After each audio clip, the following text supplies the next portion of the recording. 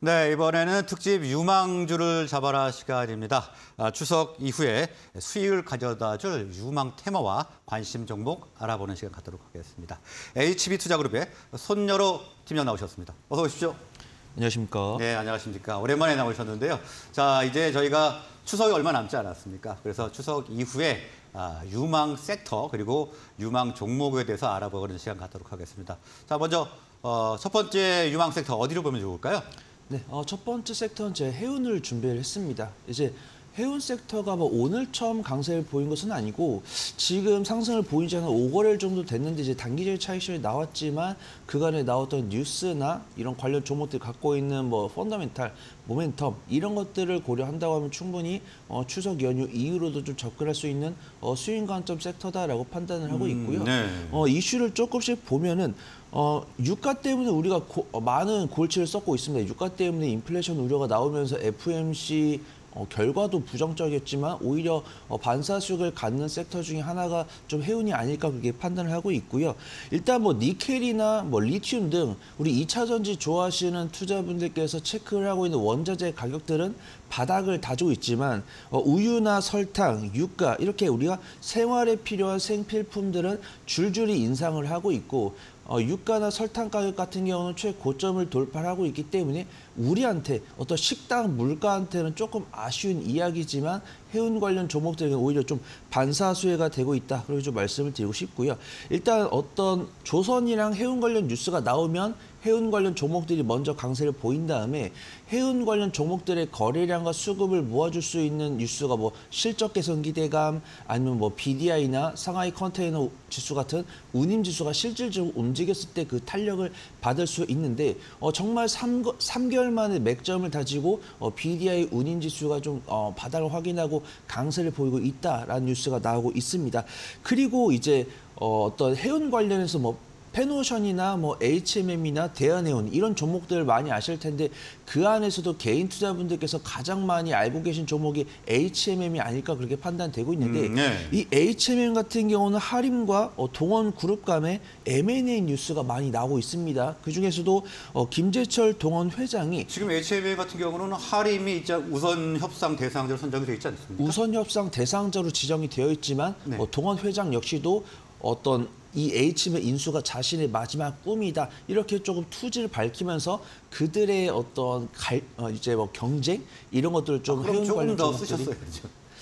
아 뭐 네. 이때 뭐 돈을 조금 더 쓰면 될 수 있겠지만 어떤 근데 그런 것들도 이제 페노션 같은 경우는 이제 범용선 이제 어 벌크선 운임이고 H맨 같은 이제 비벌크 사업을 영위를 하고 있기 때문에 네. 식품 관련 영업을 하고 있는 어, 식품 유통 기업에게는 어, HM이 좀 반드시 필요할 것이기 때문에 이 두 기업 간의 추가적인 어, 경쟁도 좀 아, 어, 해운 기업 쪽에는 것도 HMM이 굉장히 중요한 파트너사가 되는군요. 그렇죠. 식품 유통 기업이 그냥 이제 벌크선이라고 하면 그냥 자재를 실어서 나르는 건데 네. 식품을 그냥 선에 나르 실어서 나를 수 없다 보니까 뭐 포장을 해야 되고 네. 컨테이너의 뭐 위생이나 이런 것들 어, 보호 부분에서 좀 필요하다 보니까 HMM의 어떤 향후 M&A도 좀 지켜볼 좀 모멘텀이 되지 않을까 그걸 좀 보고 있습니다. 네, 그래서 지금 어, 일단 이 BDI 지수가 운임인 지수가 상승을 하면서 일단 주목을 받고 있는 상황이었는데요.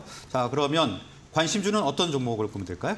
네, 우선 제가 시청자분들께 소개를 드릴 종목은 팬오션이라고 좀 말씀을 드리고 싶은데 일단 어차피 제가 단기적인 관점으로 접근을 하려고 준비해온 종목이 아니기 때문에 조금 그래도 단기적인 차익 실현이 나오고 있는 부분이 오히려 시청자분들께서 좀 저가 매수할 수 있는 기회가 아닐까 그렇게 판단되고 있고요.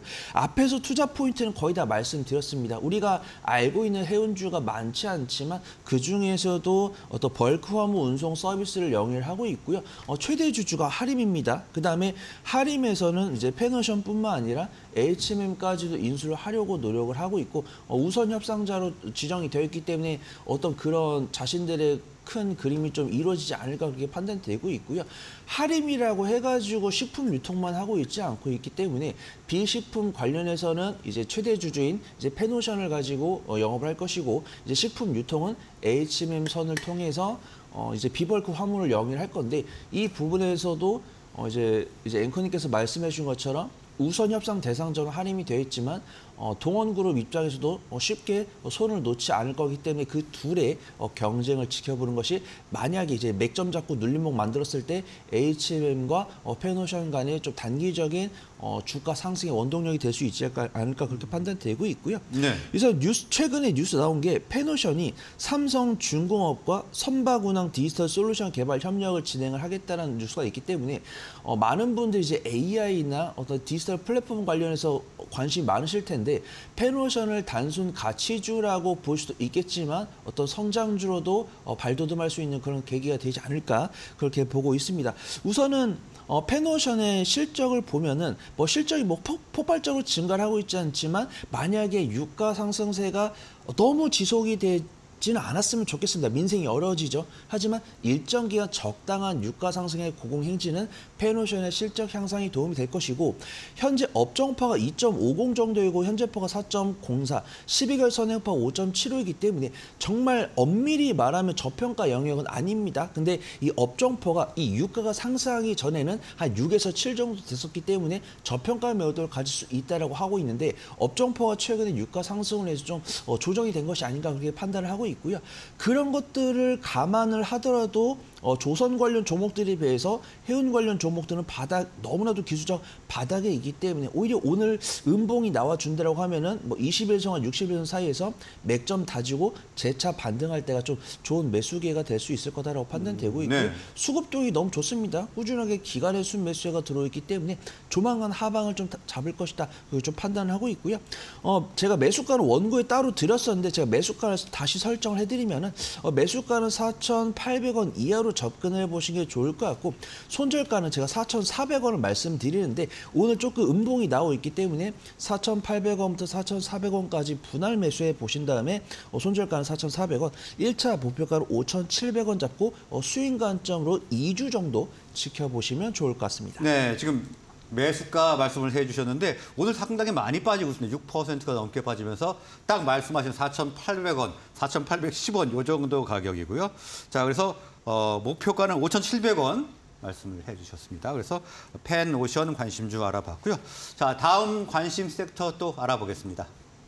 네, 두 번째로 준비한 섹터는 좀 완성차라고 볼 수 있겠는데요.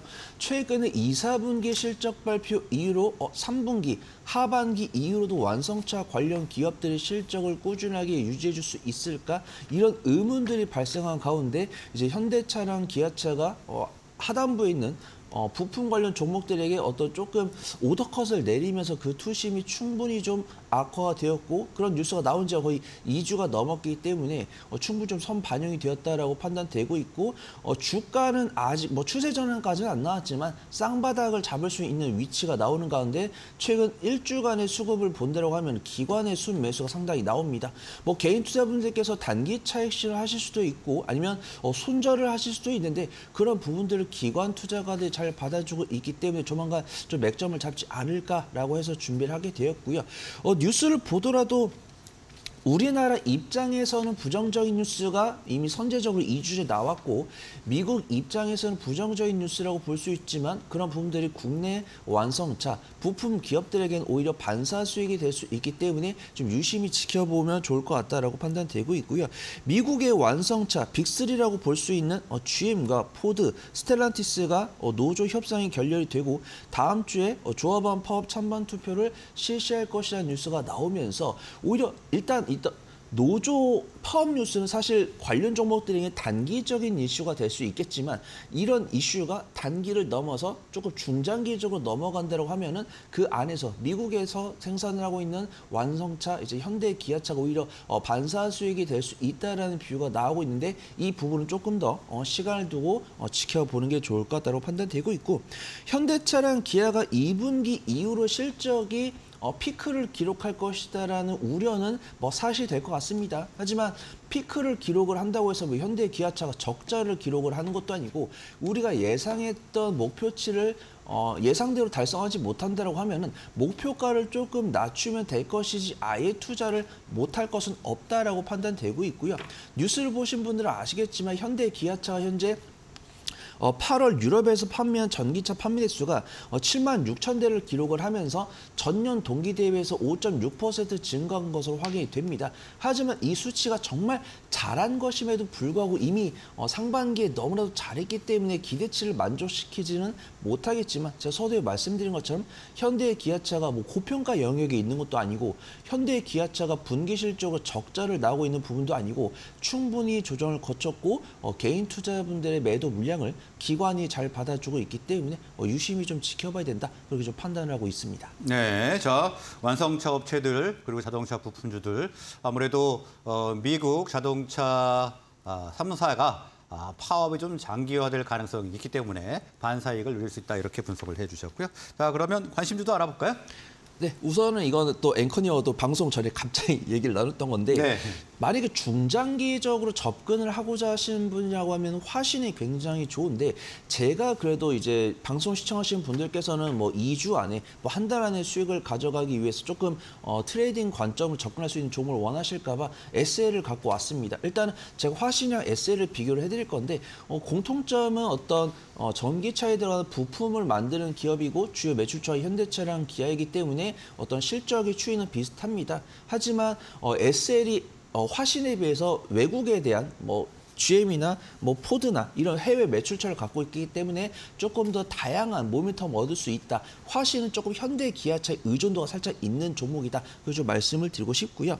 일단 SM 같은 경우는 2023년의 상반기에 압도적인 실적을 발표를 했고 어, 실적을 조금 줄여서 발표해서 이제 금융감독원에 좀 핀잔 얻을 정도로 2023년 상반기에 실적이 상당히 많이 나온 종목인데 아, 핀잔을 얻을 정도로. 네, 이제 금융감독원에서 어, 실적을 어, 사실대로 발표 를 해라. 네. 조금 줄이지 말고 사실대로 발표해라. 이런 뉴스 아마 읽어보신 분은 아실 것이고 일단 증권사 리포트랑 뉴스가 나오고 있습니다. 이제 현대차의 주요 어, 매출처가 있기 때문에 현대차는 노조 협상이 됐거든요. 그래서 파업 리스크가 적기 때문에 어, 자동차 부품주의 눈길이 가, 고 해당 종목들을 봐야 된다. 근데 어, SL은 조금 어, 3, 4분기에는 조금 상반기에 보여줬던 실적을 보여주지 못하겠지만 현대차 노사 리스크가 해소가 되었기 때문에 이에 따른 반등 가능성이 충분히 있다. 이런 증권사 리포트가 나오고 있고요.